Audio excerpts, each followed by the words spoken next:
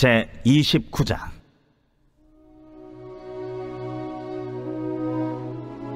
네가 그들에게 나를 섬길 제사장 직분을 위임하여 그들을 거룩하게 할 일은 이러하니 곧 어린 수소 하나와 흠없는 순양 둘을 택하고 무교병과 기름 섞인 무교 과자와 기름 바른 무교 전병을 모두 고운 밀가루로 만들고 그것들을 한 광주에 담고 그것을 광주에 담은 채 그 송아지와 두 양과 함께 가져오라 너는 아름과 그의 아들들을 회막문으로 데려다가 물로 씻기고 의복을 가져다가 아론에게 속옷과 에봇 받침 겉옷과 에봇을 입히고 흉패를 달고 에봇에 정교하게 짠 띠를 띠게 하고 그의 머리에 관을 씌우고 그 위에 거룩한 패를 더하고 관유를 가져다가 그의 머리에 부어 바르고 그의 아들들을 데려다가 그들에게 속옷을 입히고 아론과 그의 아들들에게 띠를 띄우며 관을 씌워 그들에게 제사장의 직분을 맡겨 영원한 규례가 되게 하라.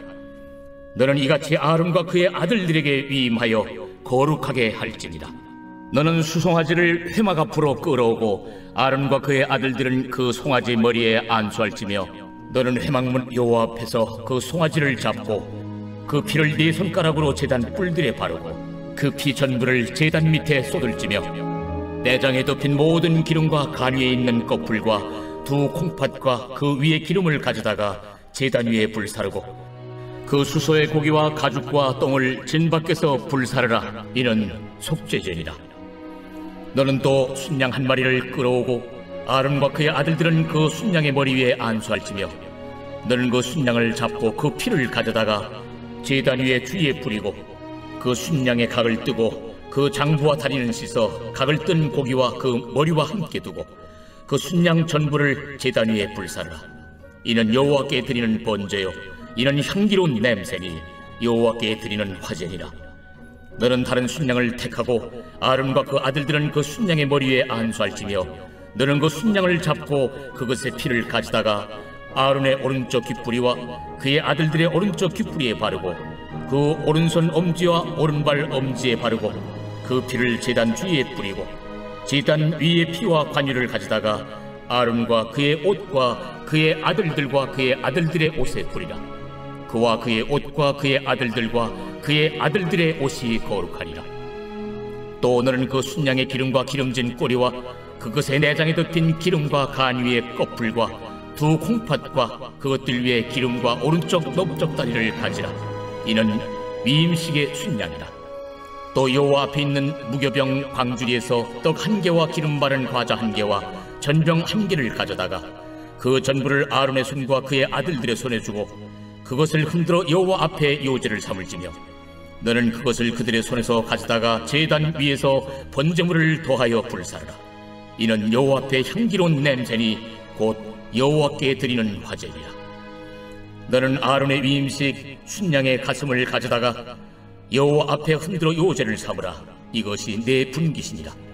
너는 그 흔든 요제물 곧 아름과 그의 아들들의 위임식 순양의 가슴과 넓적다리를 거룩하게 하라. 이는 이스라엘 자손이 아름과 그의 자손에게 돌릴 영원한 분기시오 거제물이니 곧 이스라엘 자손이 화목제의 제물 중에서 취한 거제물로서 여호와께 드리는 거제물이니라. 아론의 성인은 후에 아론의 아들들에게 돌릴지니 그들이 그것을 입고 기름 부음으로 위임을 받을 것이며 그를 이어 제사장이 되는 아들이 회막에 들어가서 성소에서 섬길 때에는 이래 동안 그것을 입을지니라. 너는 위임식 순양을 가져다가 거룩한 곳에서 그 고기를 삶고 아론과 그의 아들들은 회막문에서 그 순양의 고기와 방주에 있는 떡을 먹을지라. 그들은 속죄물 곧 그들을 위임하며 그들을 거룩하게 하는 데 쓰는 것을 먹되 타인은 먹지 못할지니 그것이 거룩하기 때문이라. 위임식 고기나 떡이 아침까지 남아 있으면 그것을 불에 살을지니 이는 거룩한즉 먹지 못할지니라. 너는 내가 네게 한 모든 명령대로 아론과 그의 아들들에게 그같이 하여 이래 동안 위임식을 행하되 매일 수송아지 하나로 속죄하기 위하여 속죄제를 드리며 또 제단을 위하여 속죄하여 깨끗하게 하고 그것에 기름을 부어 거룩하게 하라 너는 이래 동안 제단을 위하여 속죄하여 거룩하게 하라. 그리하면 지극히 거룩한 제단이 되리니 제단에 접촉하는 모든 것이 거룩하리라. 네가 제단 위에 드릴 것은 이러하니라. 매일 1년 된 어린 양 두 마리니 한 어린 양은 아침에 드리고 한 어린 양은 저녁 때에 드릴지며 한 어린 양의 고운 밀가루 10분의 1 에바와 지은 기름 4분의 1 흰을 더하고 또 전제로 포도주 4분의 1 흰을 더할지며 한 어린 양은 저녁 때에 드리되 아침에 한 것처럼 소제와 전제를 그것과 함께 드려 향기로운 냄새가 되게 하여 여호와께 화제로 삼을지니 이는 너희가 대대로 여호와 앞 회막문에서 늘 드릴 번제라. 내가 거기서 너희와 만나고 내게 말하리라.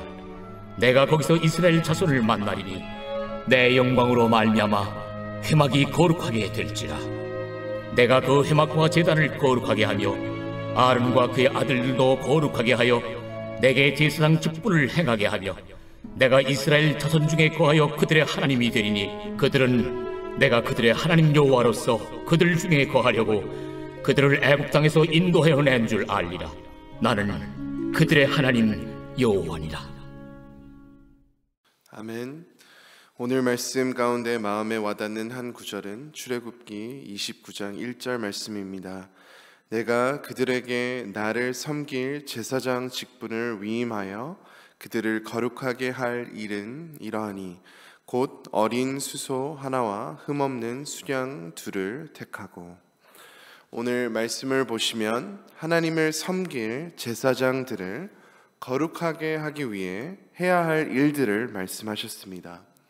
먼저 어린 수소 하나와 흠없는 수량 둘을 택하라고 하셨습니다.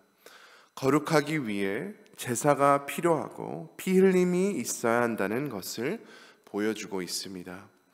이어서 2절 말씀에 무교 빵과 과자 전병을 만들라고 했습니다. 음식을 만들라고 하신 것은 교제를 상징합니다. 거룩하기 위해 하나님과 교제를 해야 한다는 것입니다.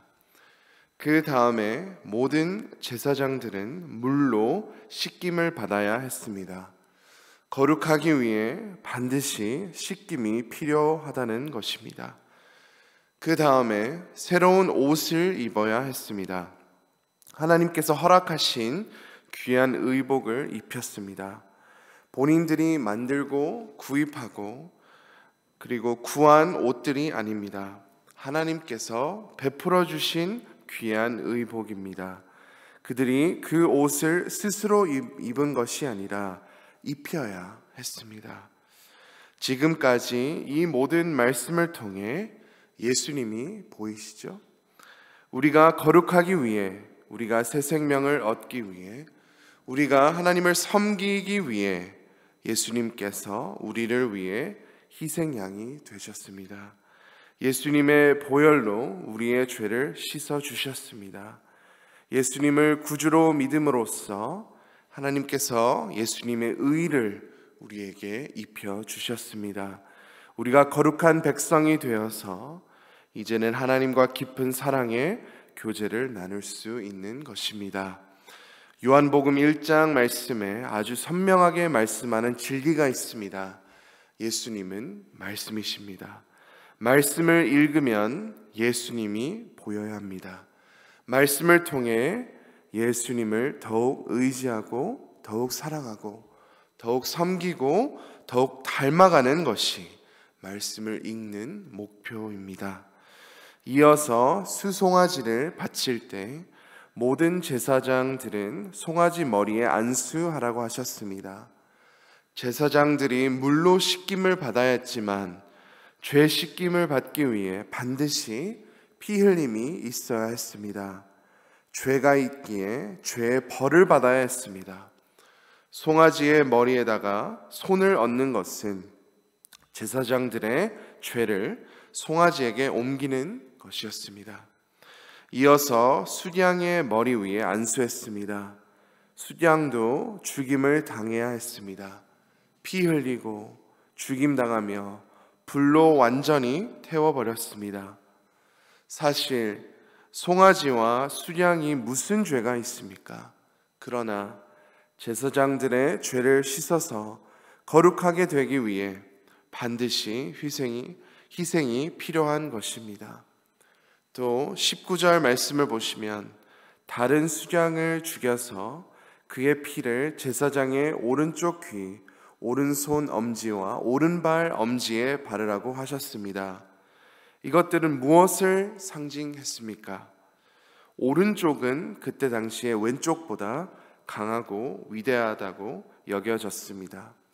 그리고 귀는 당연히 듣는 것을 상징했고 오른손은 일을 상징하고 발은 행함을 상징했습니다. 거룩하게 되어 영적인 귀가 열리고 거룩한 일을 할 수 있고 또 거룩한 걸음, 거룩한 행함, 거룩한 섬김으로 하나님께 영광 드리라는 것을 상징했습니다. 그 다음부터 제사된 특유의 부분들과 또 준비한 빵을 먹으라고 하셨습니다. 예수님께서 우리 죄의 벌을 받으시고 그 귀한 보혈을 흘리심으로 우리는 거룩한 백성이 되었고 그가 흘리신 보혈을 통하여 이제 우리는 하나님의 음성을 들을 수 있고 우리는 주님을 섬기고 주님께 영광 드리는 삶을 살 수 있습니다. 모든 희생과 절차들을 지나고 나서 식사를 할 수 있게 된 것 같이 예수님의 모든 희생과 하나님의 일들이 펼쳐진 뒤에 우리도 하나님과 지속적인 사랑의 교제를 나눌 수 있는 것입니다. 제사장들이 거룩하기 위해 7일 동안 많은 절차가 있어야 했습니다. 내 죄를 위하여 희생이 있음을 기억하고 또 거룩한 거룩에 대해 계속해서 묵상하고 기억해야 했습니다. 그 이유로 계속해서 희생을 바치라고 하셨고 이 수많은 규례들과 지침들을 지키라고 하셨습니다. 다 분명한 이유가 있습니다. 하나님은 백성을 고생시키기 위해 세우신 것이 아니라 42절 말씀을 보시면 회막분에서 내가 거기서 너희와 만나고 내게 말하리라.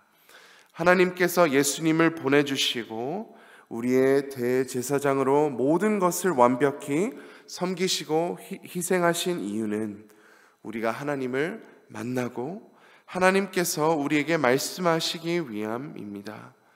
하나님은 우리를 만나시고 우리에게 사랑의 말씀을 해주시기를 원하십니다.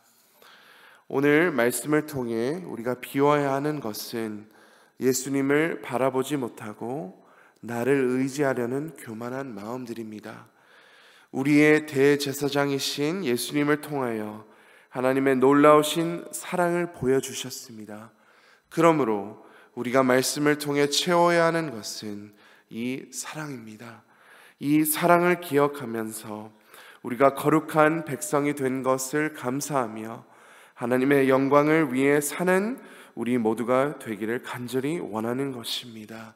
이제 하나님과 만나시고 하나님의 말씀을 들으시고 우리에게 새 생명을 주시고 또 거룩한 섬김을 허락하신 그 예수님을 바라보는 오늘 하루 또 일평생이 되시기를 간절히 소망합니다. 이 시간 말씀을 품고 함께 기도하시겠습니다.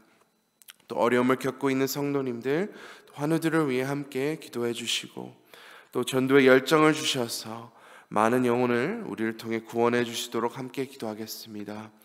담임 목사님을 위해 기도해 주시고 부교육자들과 장로님, 영적 리더들 위해 기도해 주시고 또 EM과 다음 세대 부흥을 위해 함께 기도하겠습니다. 오늘 금요일 교구위원회와 교회관리위원회, 차량관리위원회를 위해 함께 기도하시겠습니다. 그리고 중앙아시아권 선교를 위해 기도하실 때 키르키스탄 정춘섭 김은희 선교사님, 방글라데시 다스 제랄드 리스파 선교사님, 알바니아 최조영 홍정희 선교사님을 위해 함께 기도하겠습니다. 우리 주여 한번 외치고 다 함께 간절히 기도하시겠습니다. 주여